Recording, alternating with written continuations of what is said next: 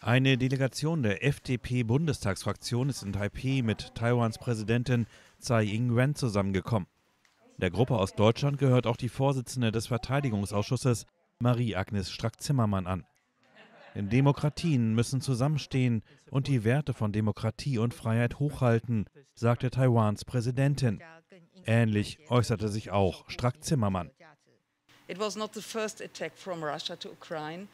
Es war nicht der erste Angriff von Russland auf die Ukraine, aber dieser Angriff war ein großer Weckruf. Ich denke nicht nur für Europa, für Deutschland, sondern auch für die ganze Welt. Und jetzt konnten wir sehen, was in der Ukraine passiert ist, wenn ein Despot kommt und die ganze Welt beeinflusst. Und das ist der Grund, warum wir in ihr Land kommen, auf ihre wunderbare Insel, um der Welt zu sagen, dass wir als demokratische Staaten eng zusammenstehen.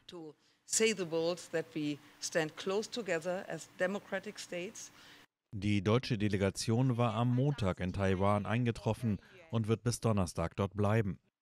Die chinesische Regierung lehnt Besucher ausländischer Abgeordneter in Taiwan grundsätzlich ab und bezeichnet sie als Einmischung in ihre inneren Angelegenheiten.